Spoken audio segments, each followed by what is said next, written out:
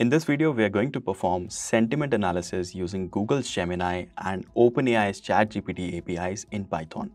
And just so you know, both of these platforms have uh, APIs that are uh, sort of free to use. In fact, we have a separate video on how to fetch your uh, free Google Gemini API key from Google's MakerSuite platform. Do check that out. And for ChatGPT API, OpenAI gives uh, $5 worth of free credits on new accounts so you may use that up. Talking about sentiment analysis, I'm sure you would agree that uh, it's one of the most interesting data science and AI problems that uh, we all like solving. In fact, on our channel Analytics Vidhya, we ran a three-part series on sentiment analysis where we discussed and implemented traditional machine learning approaches in part one, embeddings for uh, feature extraction like uh, Word2Vec, GloVe, and FastText in part 2. And finally, we also implemented deep learning for sentiment classification in part 3. All across these uh, three-part uh, sentiment analysis series, we got classification accuracy of around 85 to 90%. Now in this video, we are going to implement a whole different way of uh, classifying sentiments and that is using the power of large language models. So here's what we are going to do. We'll be using the Amazon Alexa customer reviews dataset for uh, sentiment classification. This dataset has a binary classification labels, positive which is label equal to 1 and negative which is label equal to 0. In terms of hands-on, we'll first be doing uh, data pre-processing using Python. And finally, we are uh, going to generate sentiments on uh, the customer reviews using both Gemini Pro and ChatGPT API. In terms of uh, prompting, we are going to try out uh, zero shot as well as few shot prompting and observe model performance on these. Now let's get started with the hands-on. Alright, now we are in our uh, Google Colab environment. Uh, I'm already connected to a regular runtime. We don't need a GPU for uh, this project. Uh, and by the way, I'll share a link to this particular notebook in the description part of this video for your uh, quick reference. So over here, first let's import our dataset that I have uh, kept in this uh, project folder within my Google Drive, this one. And uh, just so you know guys, this is project number five in our Gen AI hands-on series. Prior to that, we have done multiple of these projects like building a chatbot using Bard API, uh, doing hands-on with open source models like Falcon 7 billion, Dolly 3 billion. We also built a code explainer using the PaLM API and uh, recently we have released uh, how to do hands-on uh, with Mixtral 8x 7 billion model uh, within the free Colab environment. So this is project number 5 that we are uh, discussing and link to the previous video tutorial is something that you can get from this project tutorial documentation uh, we have provided a link to all of these here. All right. Now, just to uh, reiterate this, uh, I have kept the dataset for this particular project over here, which is this Amazon Alexa.tsv. Now we are going to import that into our Colab environment. Uh, so for that, first we need to mount uh, the Google Drive uh, to Colab. And then we navigate to the directory where our sentiment analysis project is located. And this ls over here is just uh, to double check if everything is in place. As you can see, we do see uh, our dataset uh, marked over here, so we are good to go. Now let's import the dataset. For this tutorial, we are using a dataset called Amazon Alexa.tsv. We'll read it into a pandas data frame uh, and take a look at the first few rows. Let's do that.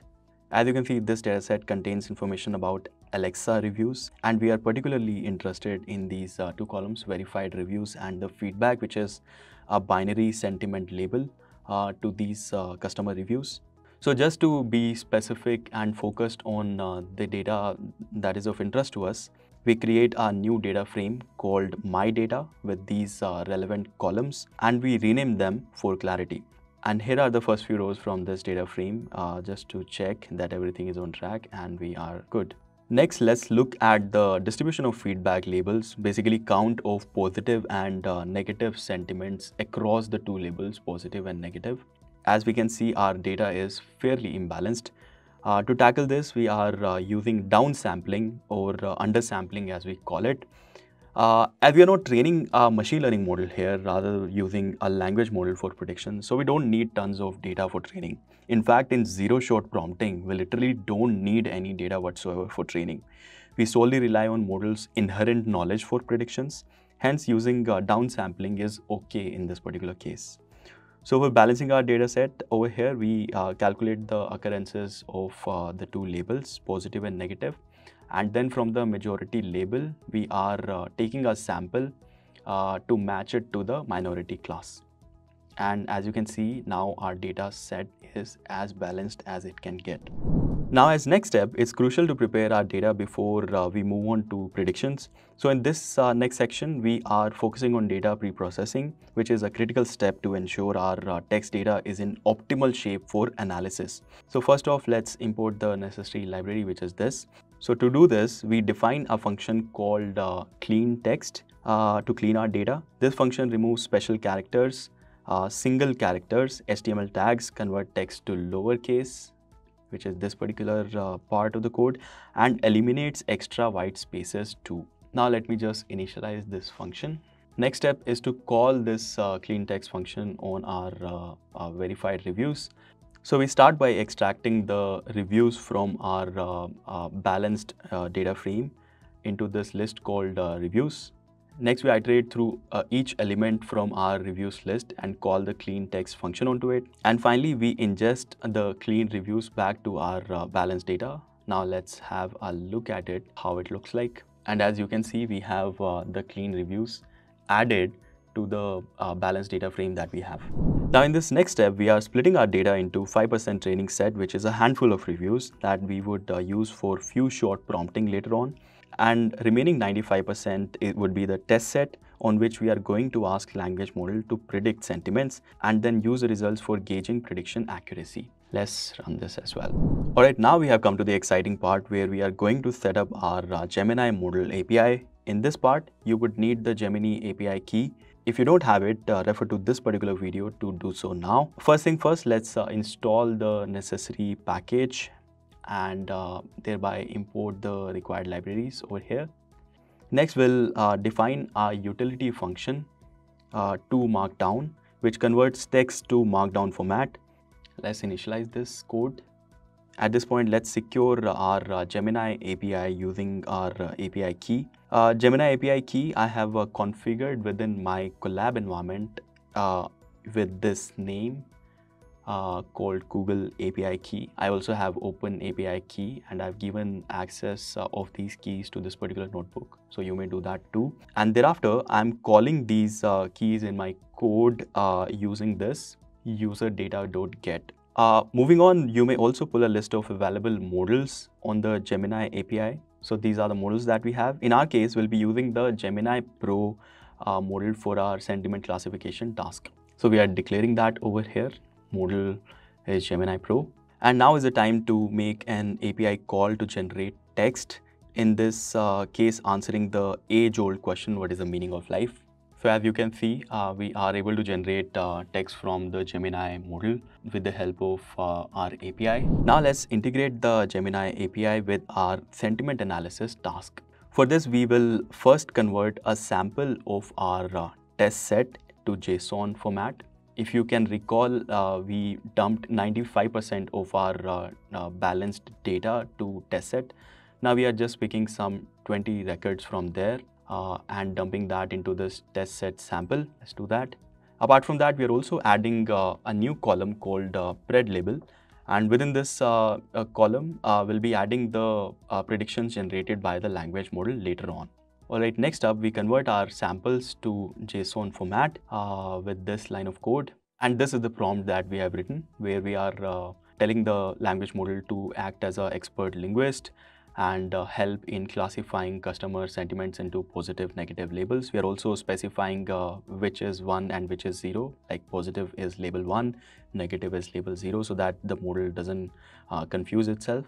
And finally, we are asking uh, the model to generate uh, predictions and uh, give back the final output in the JSON code format, right? So let's initialize the prompt. This prompt has the uh, review samples that we are asking language model to generate predictions on in the JSON format. All right, finally, we feed our prompt to the Gemini model generate content method for uh, sentiment prediction. It might take a couple of minutes, so be patient with that. Alright, we have uh, received the response from the model and now is the time to clean up this uh, JSON data from the API response and dump it into a pandas data frame and uh, this is the code to do that. So th these are the clean reviews that we sent to the model and these are the predictions generated by the Gemini Pro model. Now as last step, let's ingest these uh, predicted labels to our uh, original test set sample and then we'll finally compute the accuracy. Here we go. So in this case, as uh, we can read from this confusion matrix, all 20 reviews are uh, correctly uh, classified into positive and negative labels. So it's a 100% accuracy that we are getting with Gemini Pro on a single API call. And there you have it. We have seamlessly integrated the Gemini API into our sentiment analysis workflow. If you're enjoying this tutorial, guys, do not forget to like this video and uh, subscribe to our channel so that you see more of our data tech content in your YouTube stream. So guys, we have generated sentiments on customer reviews using uh, Google Gemini API and it works like a charm. Now in this next step, we are going to learn another important aspect of generating sentiments from large language models. Given LLMs have prompt length constraints, there's a limit to how many reviews we can send in a single API call for predictions. And in case we have uh, sizable data to work with, we go for batch processing. Here we divide our data into small batches that are permissible to be sent in a single API call and hit the model API multiple times to process all the batches iteratively and thereafter collate the results. Let's see how we can do that in this part of the code. And just for the sake of variety, in this uh, next part, I'm using the OpenAI ChatGPT API. So let's dive in. So let's start by configuring the OpenAI API. I'm pulling the OpenAI API key from my Colab environment using userdata.get, the way I showed you for uh, Gemini. And to test the API, uh, I have written this get completion function. It has two arguments, the prompt and the model, which I'm sort of uh, mentioning as default uh, GPT 3.5. Now let's uh, feed a prompt to the API. Let's check the response. And we are indeed getting uh, the response from the API, so it's working fine. Now let's move on to the batching API calls for this ChatGPT API. For the sake of time, I am uh, taking a sample of our uh, test set again. Uh, so this is our test set. It has around 488 records and I'm picking uh, a handful which is 100 over here, right? Again, I'm adding uh, a blank column called pred label, which I'll be using later on for dumping the model predictions back here and uh, then we set up batches equal to 50 and divide our data across these batches. So because we have 100 samples, so we'll be having two batches of 50 each. And thereafter, we define uh, this get completion function, GPT completion function uh, with these arguments. It's very much similar to the function that we wrote above for Gemini. Within this function, we are passing the batch and uh, data from the batch, uh, which is like 50 samples, are uh, converted to JSON data within the function. And then we have also sort of drafted a prompt and this prompt uh, will have the JSON data ingested into it. And finally, we call the OpenAI model, uh, feeding this particular prompt uh, to it and generating predictions. All right, let me initialize this function. Now we call this uh, completion function on our batches and dump model responses in this uh, list called responses. Let's run it. Again, it might take one or two minutes depending upon the data that you have. So be patient uh, in this particular step. All right, our predictions are generated now. As last step, we clean up the JSON data from the API response and dump it into our pandas frame, which we are calling df total. Let's run it. As you can see, this is how the uh, data frame looks like. And finally, we are ingesting uh, the predicted labels back to our uh, original test set total, which had 100 records. And now uh, testing for accuracy. As you can see, we are getting a healthy 91% still. So guys, how cool is that on a scale of 1 to 10? We didn't have to develop a machine learning model or a deep learning model, worry about uh, the text to numeric representations, embeddings, etc all we did was to configure the language model API for ChatGPT and Google Gemini and generated predictions within a span of minutes. Do let me know what uh, you think about this in the comment section below. And remember, these are the results with zero shot prompting. Can the model do any better if we show it a few examples from our dataset with the help of a few shot prompting maybe? Let us find out in this last section of our code. So within this section for uh, batched API calls to ChatGPT API with FewShot, again, uh, this is the test set we have, 95% of the balanced data. Uh, we are picking 100 samples from it, just like uh, we did in the previous part, creating uh, two batches of 50. And then we are writing our GPT completion function.